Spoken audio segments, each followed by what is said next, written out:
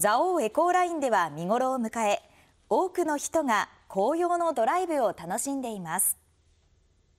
蔵王ライザワールドです。この辺りも葉っぱ色づき始めていますが山の方はより鮮やかに染まっているようです。これから蔵王エコーラインで山頂の方へ向かいたいと思います。山形と宮城を結ぶ山岳道路蔵王エコーライン山頂へ向かい車を走らせると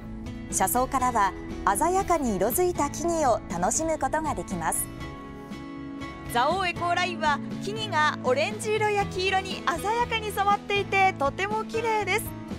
紅葉のトンネルをくぐりながらのドライブはいや気持ちよさそうですね。蔵王ライザワールドによりますと1週間ほど前からブナやカエデなどが色づき始め昨日見頃を迎えたということです。紅葉の道路を抜けてたどり着いたのはお釜今日は雲が多く風も強いというあいにくの天気の中多くの観光客がお釜と紅葉を見に訪れていました。下の方はまだ全然普通に緑が多かったんですけど上に来るにつれてどんどん赤いのとか黄色いのとか出てきてすごい綺麗でした。思ったより紅葉してるなって思って